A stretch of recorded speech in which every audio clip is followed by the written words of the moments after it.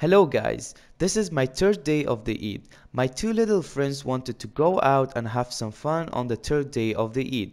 So first things first, I brought them to the mosque and prayed Asr. After the prayer, we took the bus and went to play 8 ball pool. So after a while, I played versus him and as you guys can see, I'm the worst amongst them. Then I played versus the little brother and he was pretty good.